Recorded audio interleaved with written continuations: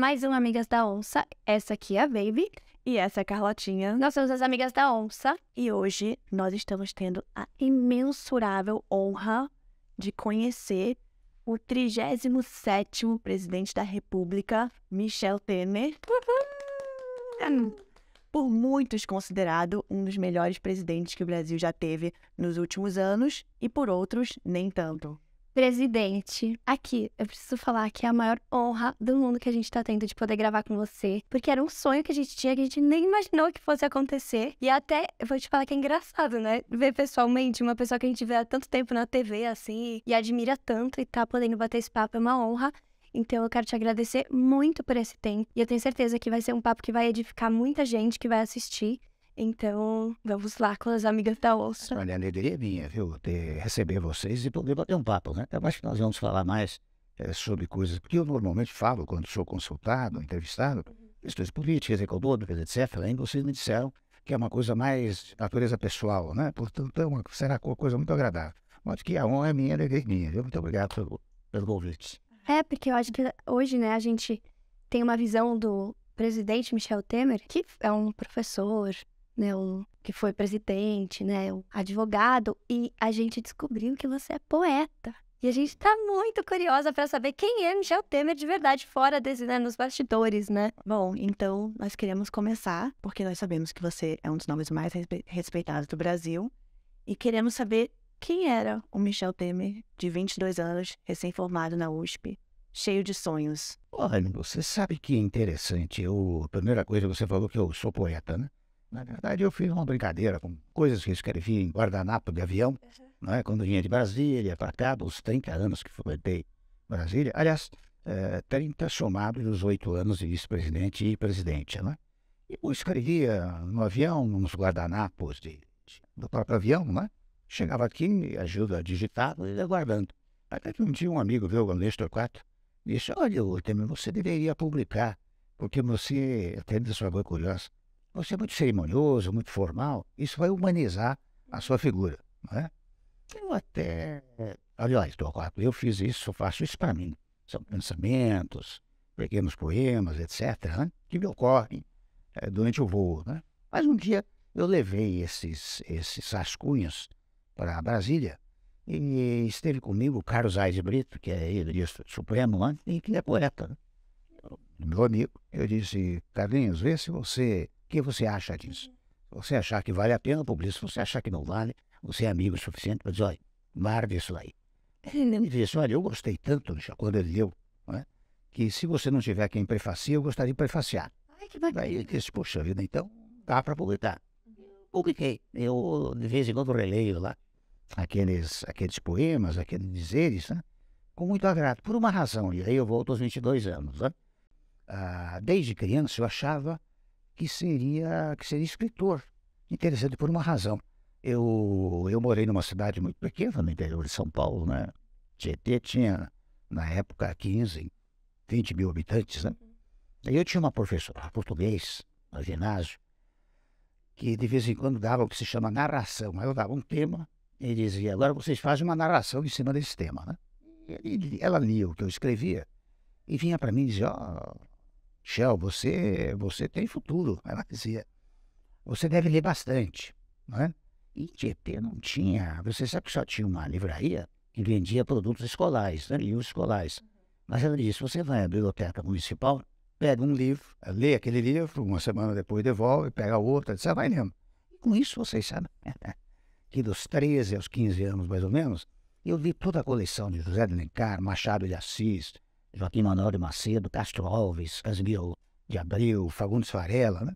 Foi até o aprov- aproveitamento quando você é muito, muito jovem ainda, não é tanto, depois eu voltei a ler muito, mas o meu, o meu objetivo, eu achava que seria escritor. Mas interessante, quando eu entrei na faculdade, você sabe que logo no primeiro ano, tinha 18 anos, né? Os alunos, colegas né, da, da minha turma, né? Me lançaram candidato a segundo tesoureiro do Centro Acadêmico 11 de Agosto, que era o cargo, o cargo que cabia aos calouros, né? E lá você só podia se candidatar a presidente quando estivesse no quarto ano. E, E eu fui, fui, fui eleito, né? Soreiro, segundo Soreiro. Daí comecei a fazer política na faculdade. E abandonei um pouco essa coisa da, digamos, de quem pretendia ser escritor. E quando me formei, eh, de fato, eu fui por uma atividade administrativa política. Né?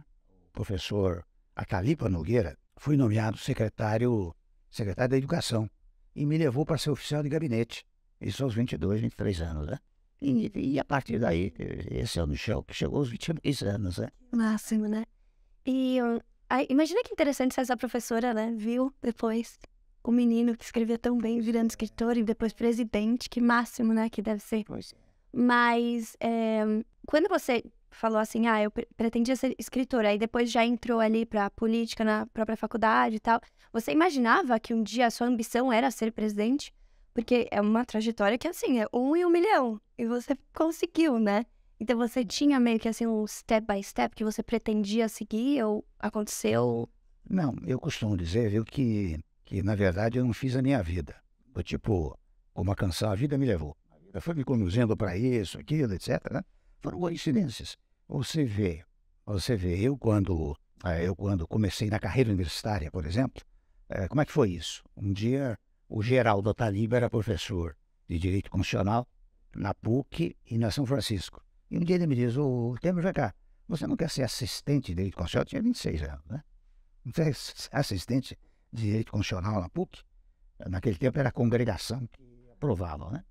Depois, depois, ele me liga e diz, olha, você foi aprovado. Muito bem, aprovado como professor assistente, mas não tinha muita ideia das coisas, né? Eu já estava naquele momento começando a advogar, não é? Depois de ter sido oficial de gabinete do professor Talibã Nogueira, né? Ah, pois muito bem, houve um dia que o Geraldo me chamou e disse, olha, eu vou dar um curso na Argentina de um mês, você que vai dar as aulas no curso noturno, né? Ele disse, mas Geraldo, eu nunca vi uma aula, como é que eu vou fazer, né? Com 26 anos, imagina. É. Você, 26, já tinha 27, você, você vê uns pontos, aí estuda e vai dar aula, e era, e ele era entusiasmador, digamos assim, no neologismo, né? Mas entusiasmador da, da carreira universitária, né? E daí eu fui, confesso a vocês, eu cheguei lá na, na sala à noite, ah, naquele tempo, os alunos eram muito mais velhos. Hoje tem jovem fazendo noturno. Mas naquela época o pessoal que fazia noturno era o pessoal mais, né? mais idoso. Eu era o mais jovem da sala. né? E eu comecei a dar aula, né? Ah, e eu confesso que trêmulo. Não trêmulo na voz, mas trêmulo na, no corpo, né? E, e o pessoal bochicho tal, etc. Né? Ele disse, olha, o professor Geraldo vai dar um curso, eu vou dar essas aulas aqui durante esse mês. Daí a pessoa veio fazendo silêncio. E eu consegui falar os 45 minutos. E quando terminei, eles aplaudiram. Daí, quando aplaudiram, eu sempre digo, aquele aplauso, eu devo a minha carreira universitária a aquele aplauso. Porque a partir daí, daí quando foi na quinta-feira, que eu tinha que dar aula novamente, eu caprichei, estudei, fiz os gráficos, etc. Né?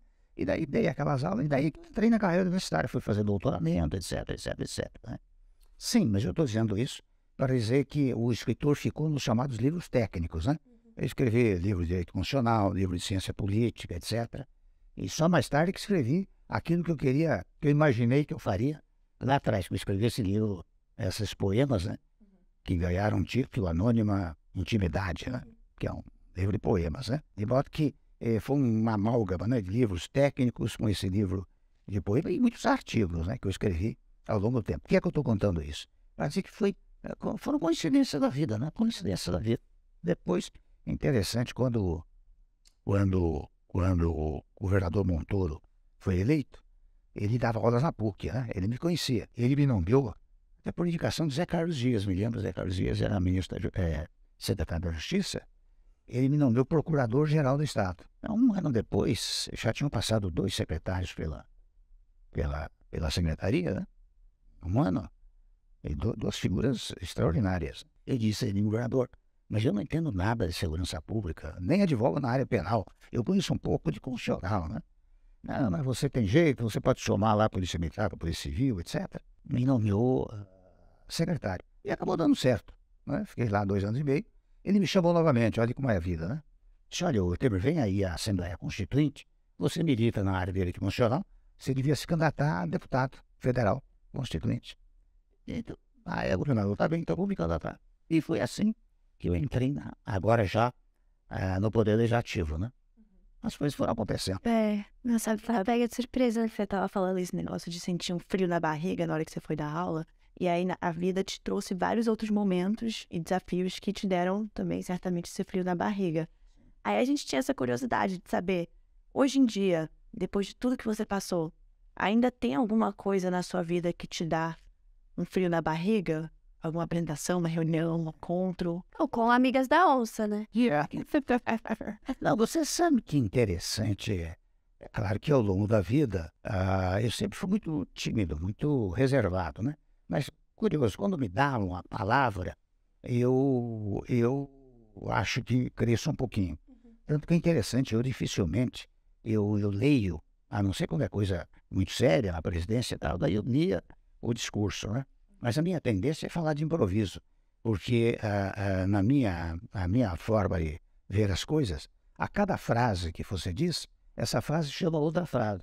Quando você está escrito, você está condicionado. O mesmo roteiro, muita gente faz roteiro, né? O roteiro também te condiciona, não é? Então, eu, quando posso, eu falo improviso. Porque eu digo eu, uma frase vai chamando outra frase.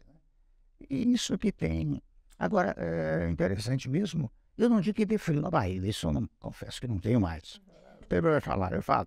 Mas a cada compromisso, como este gentilíssimo, simpático que nós estamos tendo, mas sempre me dá uma certa preocupação, é claro, um minutinho antes, tem que chegar na hora, né? Tem que falar, não posso falar bobagem, né? É. Nesse sentido, sim. Mas aquilo que eu sentia na primeira aula, confesso que não, confesso que não sinto mais. Que bom, né? A gente ainda fica um pouco. Eu tava bem nervosa pra vir aqui. Eu falei, ai meu Deus, bem. E se a gente cria um monte de hipótese, né? Já dei várias entrevistas assim, desse modelo, e a pessoa diz, mas eu tô nervoso, eu tô nervoso, eu tô nervosa, etc, né? Ah, com a impressão de que você vai encontrar uma figura eh, muito, muito assim, acima de você, né? E eu sempre levei em conta um ditado espanhol que diz assim, se queres conhecer a Juanito, dá-lhe um carguito. Porque tem gente que recebe o cargo, né? E daí se engrandece, acha que é É verdade. superior a todo mundo, e não é, pelo contrário. Quanto maior o cargo que você ocupa, a posição que você ocupa, mais humilde você deve ser. É, Eu não digo que sou humilde, mas eu não tenho essa cerimônia, digamos assim, que as pessoas às vezes fazem, fazem comigo, né? Sim. É. É verdade, até impõe, né, no outro essa uma cordialidade que não, que é necessária, mas que às vezes intimida. Eu assisti uma entrevista com o senhor que eu até falei pra Baby, eu falei assim, nossa, coitada, a moça tava muito nervosa. Dava pra perceber, eu falei, espero que eu não fique assim, eu vou lá tomar uma água antes, vou ficar calma, tranquila. É, é verdade, as pessoas ficam nervosas. Depois descontrai, acho que vocês já estão bem, né? Ah, eu já tô. É, não, mas quando eu cheguei aqui eu tava gaguejando, assim, nossa, não. Mas, bom, agora é. Próxima pergunta que eu tenho aqui, que eu sou, eu sigo mais no script, né? A Carlota é muito boa em, no improviso. É, eu sou parecida com você, eu detesto escrever. Tipo assim, a gente tava, ah, vamos fazer as perguntas. Eu não consigo escrever uma pergunta definida, porque se eu for, aí eu vou tentar lembrar o que eu escrevi, eu vou falar, ai meu Deus, eu erro tudo. Então eu gosto de ir conversando e vamos vendo o que vai dar. Porque eu, eu sou o contrário, eu gosto de ter tudo organizado. É, mas assim, E claro que, quando couber, é, sair um pouco do, do script. Mas o que eu queria saber é o seguinte: é, que a política é um setor, é uma área muito fria, muito calculista, é, com muitas relações de interesse, né? E o senhor é considerado um excelente político. Mas, ao mesmo tempo, é, o senhor é um poeta, é um professor, é uma pessoa com sensibilidade aguda, né? E a gente queria saber como que essa sensibilidade te beneficiou no cargo político ou como talvez possa ter te atrapalhado de algumas maneiras. Olha, vou dizer a você, baby, quando, quando eu era muito jovem, eh, na TV Tupi, tinha um entrevistador chamado. ah, como é que é o nome dele? Silveira Sampaio. Silveira Sampaio. É, televisão preto e branco. Ele entrevistava as pessoas e, e não sei por que de vez em quando ele dizia assim: o homem que fuma cachimbo está acima dos acontecimentos. Eu ouvi aquela frase e eu nunca fumei cachimbo, mas sempre me impressionei com a frase: fique acima dos acontecimentos. Primeiro ponto. Porque se você se envolver demais com os acontecimentos, especialmente na vida pública, né, você eh, se perde. Você tem que ficar um pouco acima dos acontecimentos. Portanto, eh, o primeiro ponto é que você tem que compreender, especialmente aqueles que se opõem ao seu pensamento. Porque aqui no Brasil hoje, aproveito para dizer isso, você tem os opositores pautados pela ideia do ódio, né? Você não, você não admite oposição. Você não admite que se oponha à sua vontade, ao seu querer, à sua ideia. Quando muitas e muitas vezes, quando você recebe uma afirmação, digamos, oposicionista, né? Você muitas vezes capta alguma mensagem. Eu, na vida pública, muitas vezes, aqueles que se opunham a mim, quando criticavam, eu dizia, interessante, nesse ponto tem razão. Eu não tinha, eu tinha tamanho, creio, creio eu. Mas olha, você tem razão, eu concordo com isso. Vou modificar isso daqui, não é? Então, ah, eu acho que esta, esta sensação de que, é porque é, chamando de maniqueísmo, né? É que só, só, só, só, só, só o outro tem razão, você não tem. Né? Eu nunca utilizei. Eu acho que muitas vezes o que eu ouço de terceiros me ajuda até na minha vida pessoal, na minha vida pública, né? De modo que é, esta sensibilidade que você diz da poesia, né, ajuda, porque é interessante há certas pessoas que você está conversando, você logo nota o que ela quer, né? Até muitas vezes interessante a expressão corporal. Importante expressão corporal. Você percebe quando a pessoa é muito agressiva, ela tem gestos agressivos, né? Não é verdade? Quando a pessoa é mais tranquila, os gestos é, são mais tranquilos, né? Por exemplo, em muitos momentos eu. Isso é fruto de uma certa cerimônia, né? Quando eu para cargo público, às vezes vinha alguém e dizia: Olha, eu tenho dois assuntos para conversar com você. Eu sei que o primeiro sempre seria para me elogiar. O segundo, que era importante. Então eu disse: ah, não perca tempo com o primeiro, vá logo assim, né? É, porque você, está você acaba conhecendo, né? você acaba na conversa, você acaba percebendo essas coisas. Enfim, a sensibilidade é, ajuda, porque ela deriva um pouco da intuição. Você tem na intuição, né? É. Isso ajuda na sua vida pública, eu não tenho dúvida disso. Não é? E a sensibilidade, se me permite, é, ela ajuda precisamente para isso, para mostrar que você não é um ser, um ser capaz de acertar sempre. Que você pode eventualmente é, se equivocar, mesmo por mais experiência que você tenha. E que a sua função, uh, enquanto, enquanto ser humano, e mais do que isso, como homem público, é unir as pessoas, é agregar as pessoas, e não desagregá-las. Especialmente quando você ocupa a presidência da República. Né? Você, a história do governo é para todos, não pode ser só uma palavra, tem que ser uma ação, uma execução.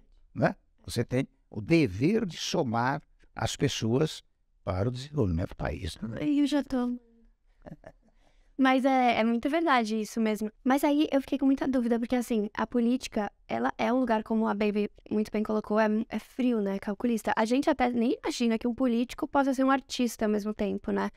E, e aí eu li alguns poemas seus e eles são um pouco melancólicos, um pouco tristes. E aí eu fiquei pensando, na época que a gente estava muito profunda na política, entrevistando somente políticos, a gente ficou um pouco é, decepcionada com algumas coisas e, e a gente passou por uma fase que foram emoções um pouco assim, negativas do mundo, de visão de mundo. E aí eu queria saber, assim, você acha que estar na política influenciou a, o seu sentimento, assim, a sua, a sua arte, ela é um pouco, por exemplo, aquele, tem um poema seu, né, que é a, a, a trajetória. Se eu soubesse que a vida seria assim, eu nem teria vindo. Teria continuado. Não teria continuado. E, e aí é, você acha que a política abriu seus olhos para uma realidade que a maioria da população não tem nem noção que aconteça? Assim, é que ela, ela sabe, ela aguça a sua sensibilidade, né? Você vê que é um dos primeiros, acho que é um dos primeiros, é, chama-se o outro, né? Eu digo, é, fiz isso, fiz aquilo ao longo do tempo, mas será que eu melhorei a minha miséria do mundo? Afinal, acabei não fazendo nada, né? Eu sou o outro, este que você lerá nessas páginas, não é?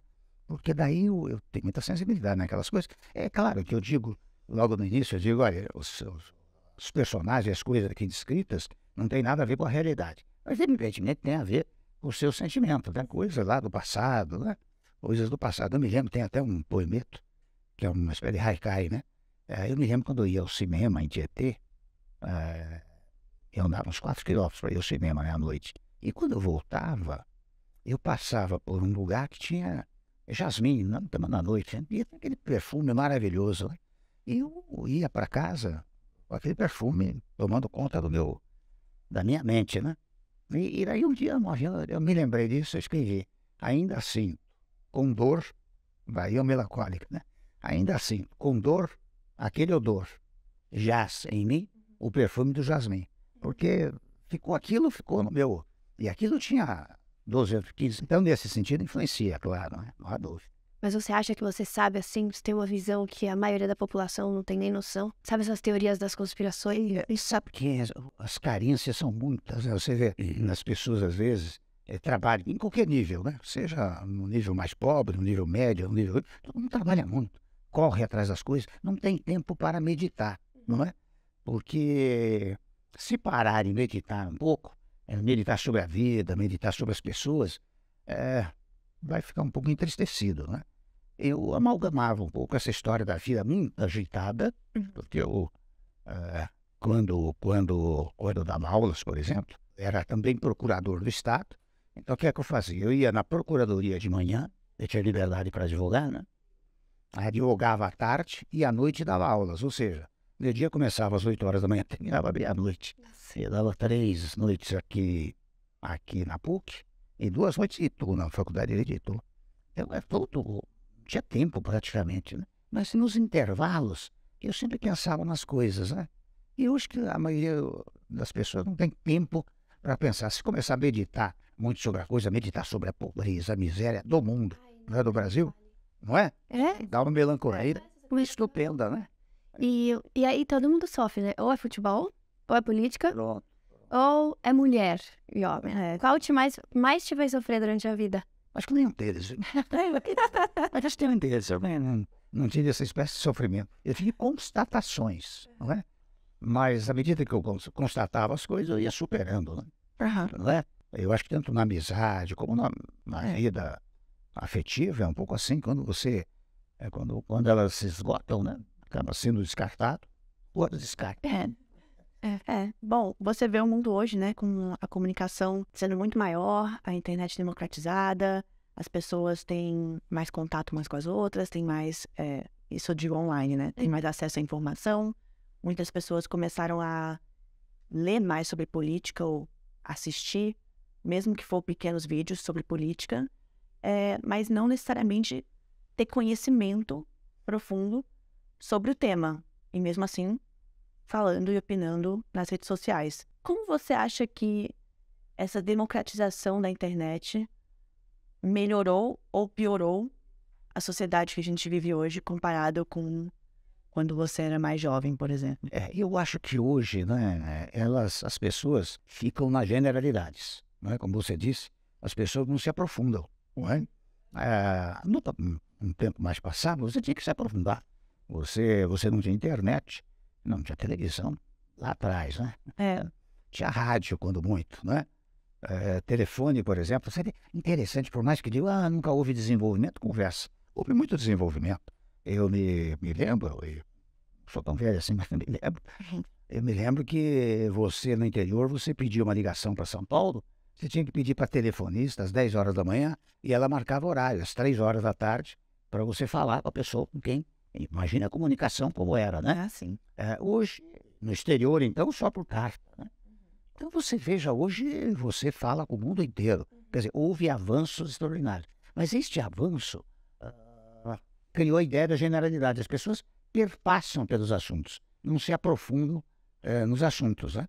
Eh, então, digo eu, de um lado, a internet trouxe modernidade, a gente não pode negar isso Sim. não é? Mas não há dúvida que eh, ela se tornou um campo fértil eh, para algumas barbaridades. Acho que o Nelson Rodrigues, eu não quero usar a expressão, mas ele falava, formou-se um campo fértil, acho que foi Nelson Rodrigues, para as imbecilidades. Não quero dizer isso, mas na verdade transformou-se num campo fértil para uma certa irresponsabilidade. As pessoas dizem o que querem, né? especialmente em face do anonimato. Né? É uma coisa ruim. Não, virou muito fácil. É isso que o senhor falou, você não é profundo em nada. Então você fala o que você quer sem nem saber. E a gente teve muito problema disso, né? Inclusive, durante essa eleição, assim, a quantidade de pessoas que, tava, que estavam opinando sobre política sem ter noção do que era foi tremenda. E aí surge esse, essa onda enorme de até fake news, né? É, notícias falsas. notícias falsas. mais do que notícias falsas. Hoje, com, com, com as possibilidades da internet, eles botam, por exemplo, a sua voz numa outra pessoa. Sim. Ou, ou pegam você e trazem a voz de uma pessoa para a sua figura. Montam até a sua imagem.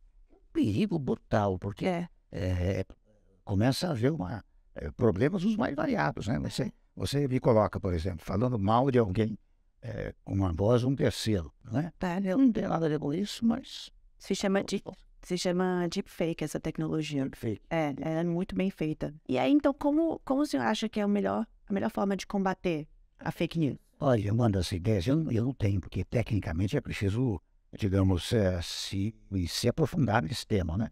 Mas eu acho que uma das hipóteses seria não permitir o anonimato.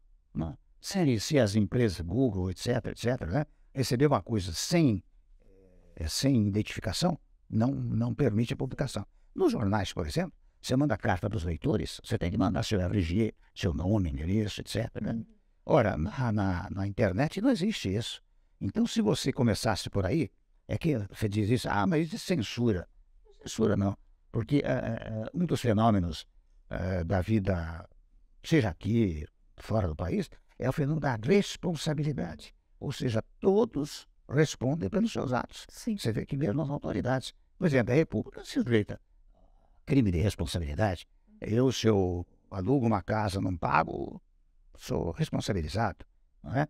Então, essa coisa da. Eu estou dizendo isso para evitar. Ah, mas eu- ele está propondo censura, não é isso, não.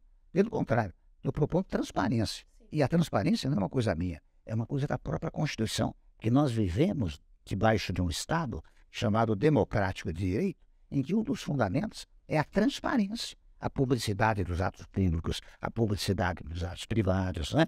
É. Ah, então, eh, se você tiver transparentemente a ideia de que você está obrigado a se identificar, você, quando for à internet, vai pensar duas vezes, ao invés de publicar notícia falsa ou dizer barbaridades. Né? Essa parece a melhor, melhor solução mesmo, mas também acho que é praticamente impossível. É, eu, não sei, eu confesso, que eu digo que, tecnicamente, eu não sei como resolver isso. Mas certamente haverá meios e modos. Né?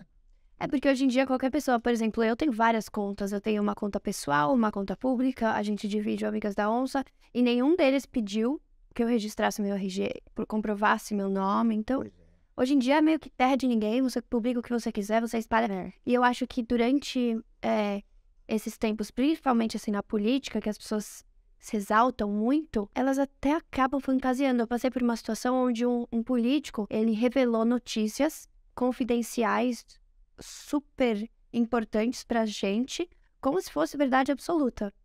Não era, no final das contas, não era nem um pouco verdade, mas talvez até ele, por estar num momento tão à flor da pele ali, ele acreditou que viveu aquilo, que escutou daquilo, e um passa pro outro, que passa pro outro, e a informação vai correndo e chega até um- alguém que publica, que escuta direto de uma fonte que parece muito é, que tenha credibilidade e acaba espalhando, né? É verdade. Então é um problema bem complicado que eu acho que a gente vai cada vez viver mais assim. esse- É, lamentavelmente, hoje não, não há como você ver. Você vê, oh, é interessante, há, acho que na China, há cidades que você tem câmeras, todas as ruas, as pessoas ficam identificadas. Você entra aqui no elevador, você está sendo.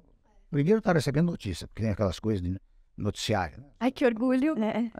Júlia Carlota vista em elevador do escritório de presidente Michel Temer, né? Em segundo lugar, você tem, você tem câmeras que guiam seus passos, etc. né? Sabia que lá na China, até se eu fosse lá, que eu nunca fui, eles iam saber quem eu sou? No exterior, hoje, praticamente você não exibe mais o passaporte, né? Tem a história da, câmera. É, é. Você localizam direitinho. você- Pois é, antes era, eles faziam pergunta, né? Eu acabei de voltar dos Estados Unidos semana passada e eu até comentei com você, né? Eu cheguei lá pra entrar e sempre fazem pergunta, que eu tenho um visto diferente. Eu só dei, ele leu ali a minha cara e não falou nada. Eu falei, nossa, que alívio. Não sei nem ficar nervosa aqui na polícia. Esse lado é positivo. É, É. mas O nervosismo de ir pra polícia lá do, dos Estados Unidos é como o nervosismo de falar com o presidente Michel Temer. Uma coisa que você mencionou enquanto a gente estava falando das suas poesias, né? É que a gente estava falando e você falou assim, que você não sentiu que você fez nada, né? E aí eu queria muito saber, assim, como presidente, você acha que você poderia ter feito outra coisa? Você teria deixado de fazer alguma coisa? Tem algum arrependimento? E só fica aqui, eu quero deixar muito claro que eu quero ver você concorrendo para presidente, porque eu acho que você é o mais top que o Brasil já teve e tem que voltar. Mas você tem, assim, algum sentimento de um arrependimento ou algo que você gostaria de ter feito? Olha, eu gostaria de ter completado, sabe que o meu governo é, é tido por um governo reformista, né? O melhor do Brasil. É, graças a Deus. Eu fiz a reforma, o teto de gastos públicos, para evitar que as pessoas, ah, o poder público, gaste indiscriminadamente. Né? Primeiro ponto. Segundo ponto, eu fiz a reforma trabalhista, a modernização trabalhista, e sem interessante, eu, sem nenhum trauma, porque a, a, história do diálogo também é uma coisa importante. O que é que nós fizemos quando eu pensei? Porque você mexer em direito do trabalho e previdência social é mexer em desespero. Né? E o que é que eu fiz? Eu chamei o ministro Trabalho, era o Ronaldo Nogueira. Disse, olha, visite o país inteiro, as centrais sindicais, as federações de comércio, indústria, serviços. Vamos fazer uma coisa de comum acordo. E nós acabamos produzindo, isso levou mais ou menos uns sete meses, produzindo um texto que, ao final, quando foi remetido ao Congresso, foi, eu fiz uma solenidade, né? É, falaram quatro representantes dos empregados, quatro representantes dos empregadores. Fizemos uma grande modernização trabalhista no país. Olha que a Consolidação das Leis de Trabalho é de 1943. Fizemos uma grande modernização trabalhista e vocês jamais ouviram é, falar de uma greve dos trabalhadores por causa da reforma trabalhista. Não houve. Pelo contrário, até você sabe que interessante, aqui no Brasil há um pouco essa mania. As pessoas acham que você, você produz uma lei hoje e amanhã o céu já é azul, está tudo resolvido no país. Não é assim. Quando você produz um sistema normativo, eh, ele, ele vai sendo aplicado aos poucos, leva tempo. Né? interessante, primeiro ponto, nós tínhamos um desemprego da ordem de quase 13,5%, 14%, quando nós é, promovemos a modernização trabalhista. É, primeiro, estancou o desemprego.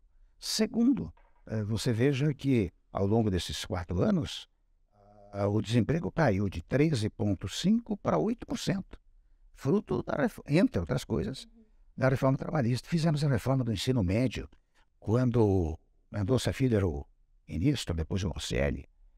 Quando eles me trouxeram a hipótese de lei, eu disse, olha, vamos, vocês não estão de acordo, vamos fazer por medida provisória. Porque eu fui presidente da Câmara dos Deputados a primeira vez, 97 e 98. Já se falava em reforma do ensino médio. Tem mais de 30 projetos lá, nunca fui adiante. Então vamos fazer por medida provisória. Por que medida provisória? Porque ela entra em vigor imediatamente.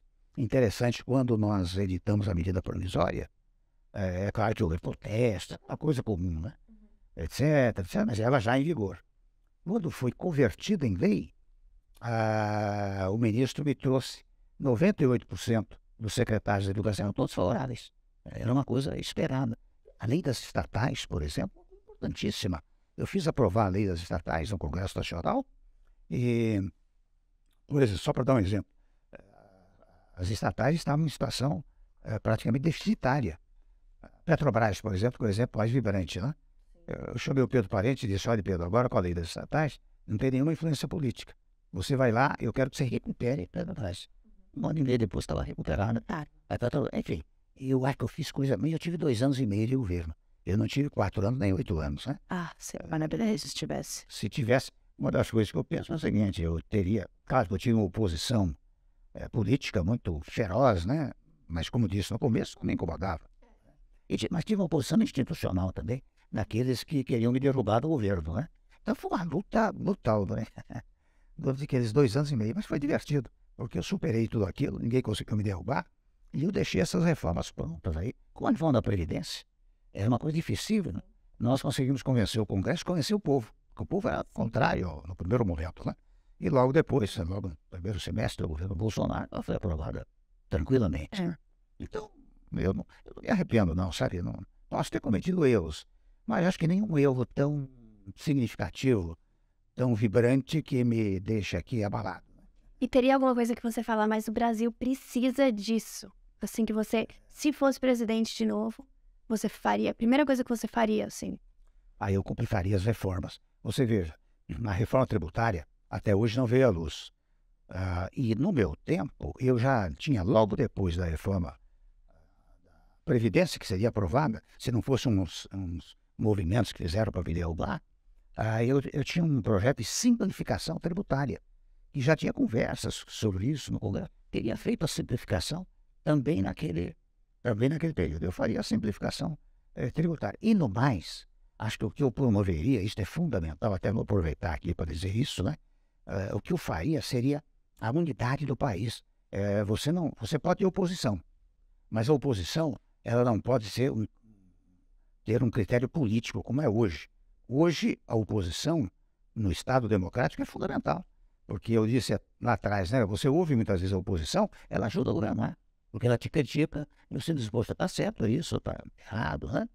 Mas aqui a oposição é política, ou seja, se eu perdi a eleição, eu tenho que destruir quem ganhou a eleição. Isso é na União, nos estados, nos municípios, é tudo igual. Né?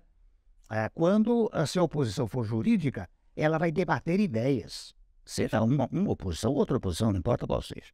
Né? Vai debater ideias. Mas especialmente vai cumprir a Constituição. E a Constituição determina a paz, tanto no plano interno como no plano internacional. E aqui para nós, né, nós sabemos que isso não, não aconteceu no passado, acontece agora.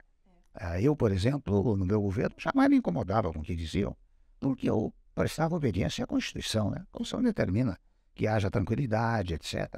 Faz isso. É, Ai, que máximo, né? é a palavra democracia, a palavra Constituição, hoje em dia ela é jogada de um lado para o outro como se fosse um contra o outro, né? Assim, como se não todos quisessem a mesma coisa para o Brasil.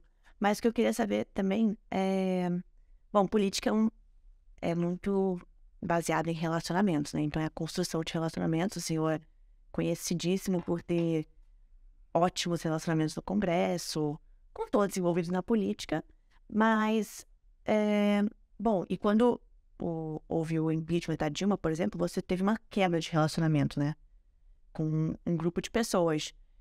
Como que lida com, esse, com essa construção e quebra de relacionamentos que acontecem dentro da política? Até para você aprovar alguma reforma, você precisa construir, você precisa deixar de ter. Como, como eu, eu, tinha muita facilidade, né? Porque eu fui três vezes presidente da Câmara dos Deputados, né? Os parlamentares tinham um bom trato comigo, né? Até eu me recordo que às vezes tinha oito audiências na, na agenda, né? Mas eu recebia 15, 15 deputados, senadores. A minha chefe tinha me dizendo, fulano está aí. E fulano, quando chegava, ele nem perguntava se o presidente estava aí. O Temer está aí? Não é? Porque tinha, uhum. tiveram contato comigo uh, no Congresso Nacional, né? Uh, este relacionamento é muito importante. Ora bem, quando se deu o impedimento para a senhora ex-presidente, o que acontece é que você cumpre a Constituição. A Constituição diz se o presidente se afasta, por alguma razão, assume o vice-presidente. É claro que eu, ao, ao, assumir, há um aspecto político, né? Quem perdeu o poder fica na oposição e faz oposição. Você tem que compreender isso. Seria estranhíssimo que o presidente que assumiu ainda tivesse aqueles que eram partidários é, da, do presidente, né? do presidente é. deposto, né? que ainda ficasse a favor. Isso é absolutamente inviável. Né? Mas interessante, você sabe que eu jamais agredi a oposição? Olha, a imprensa, por exemplo, fez uma campanha contra mim, especialmente um setor de comunicação. Uma campanha brutal, feroz contra mim, né? Para me derrubar. Uh, se vocês me perguntarem, bom, mas tem verbas publicitárias destinadas aos órgãos de comunicação. Você tirou pelo menos um centavo desse órgão ou desses órgãos que criticavam você? Zero. Pode levantar. Não fiz absolutamente nada disso. Imprensa livre é uma coisa fundamental. Simples. Não por causa do jornalista ou por causa do dono da comunicação. Isso que as pessoas não entendem. Porque é interessante, a Constituição não tem expressão de liberdade de imprensa. Ela tem expressão de liberdade de informação. Ou seja, você tem uma imprensa livre para que o povo seja informado. Por que, que o povo deve ser informado? Por causa da transparência que a Constituição determina. Então, o povo tem direito de saber de tudo. Daí a razão da imprensa livre. Não é por ela, é pelo direito à informação. É fundamental. E por isso digo eu, eu jamais, jamais criei problema com ninguém por causa disso. E graças a Deus, o fato de não ter criado problema hoje, ah, toda modéstia de lado, né? Mas eu tenho um prestígio que acho que não tinha antes. É, sim, é verdade. E, presidente, acho que para a gente finalizar, é, eu queria voltar para a primeira pergunta que você fez no, no, vídeo, que é sobre o Michel Temer de 22 anos. Se você pudesse, nós temos 20 e poucos anos, né? E a gente, a maioria do nosso público também tem essa idade. E aí eu queria escutar de alguém que nossa, chegou no maior cargo possível que teria para chegar e que passou por tantas coisas na vida, qual seria o conselho que você daria hoje para o Michel de 22 anos? Otimismo, né? Otimismo é fundamental. Otimismo em a ideia de que você, aos 22 anos, ainda você está construindo sua vida. Você tem muito pela frente. E o Brasil dá muitas oportunidades. Você sabe que muitas vezes a gente ouve falar mal do país, mas olha, o Brasil passou por crises econômicas, sociais, políticas. Basta verificar a história eh, do Brasil desde o Império, né? E superou todas essas crises. Então é preciso muita vontade, muito otimismo, muita crença no país, porque hoje há uma descrença no país. Vê a todo momento, eu ouço aqui no meu escritório, gente, a Temer, eu vou embora daqui do Brasil, etc. Eu sou filho de imigrantes, né? Era o contrário. As pessoas vinham para o Brasil. Porque o Brasil, o pai dizia, o Brasil é o país onde se faz América. Fazer América significa desenvolver-se, não é? E tanto que ele é interessante, nós éramos oito irmãos, né? Os quatro primeiros, ele não conseguiu mandar fazer curso superior, mas os quatro últimos, ele já tinha um pouquinho, né? Conseguiu mandar. Eu sou o último, né?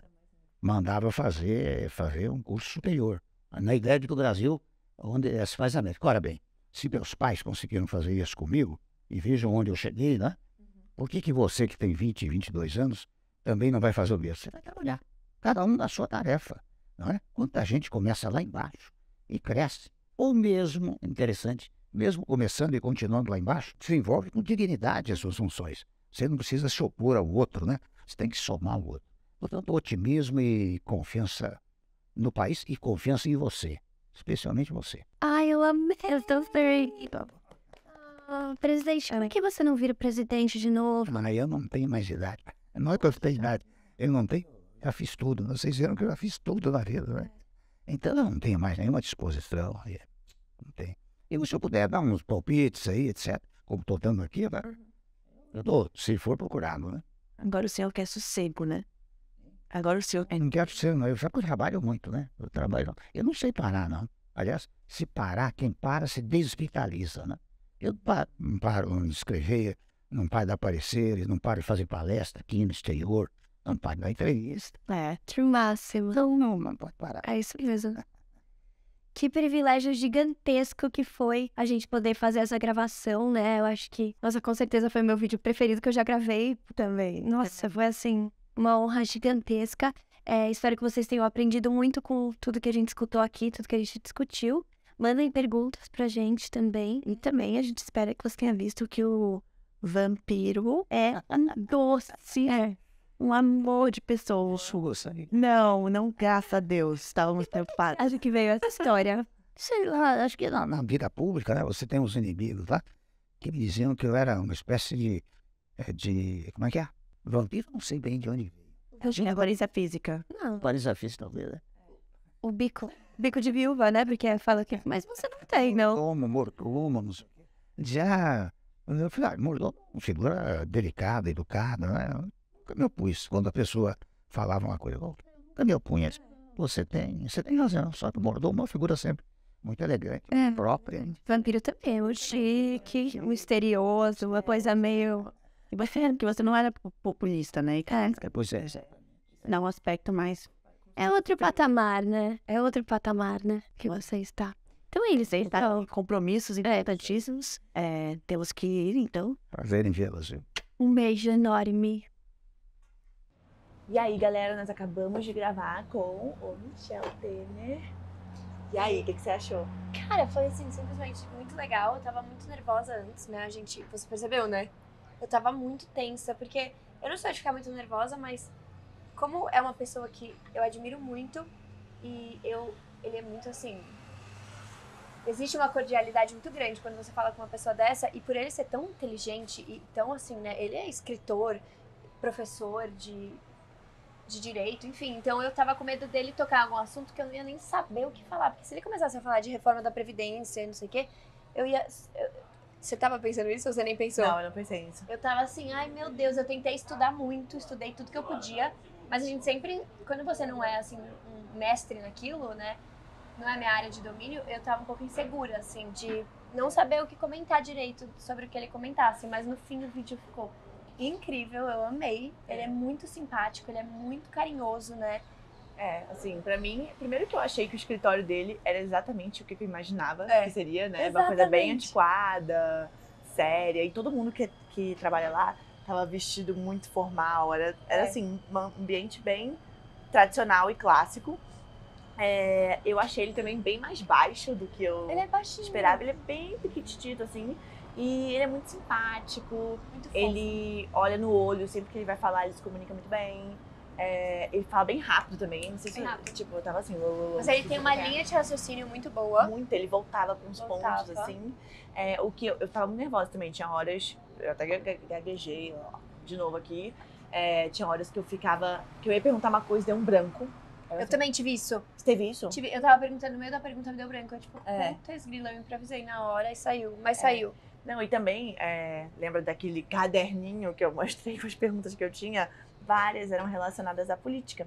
E no fim das contas, Quando a gente chegou lá, ele falou Ele que falou- não queria falar de política. é, não queria falar de política. Porque quando eu liguei pra ele, eu falei, não, a gente não vai falar de política, não sei o que, não sei o que lá. A gente acabou mudando de ideia, mas aí, como ele deixou bem claro no começo que não ia querer falar de política, A gente não falou. a gente não falou as perguntas que a gente tinha em mente, mas acabou que ele trouxe no final, né, uns pontos assim, que É. sem a gente pedir. Então Eu achei até ótimo. mais legal, porque no fim foi tão espontâneo e descontraído, né? Foi um bate-papo mesmo, assim. A gente ia comentando sobre o que ele falava e tal.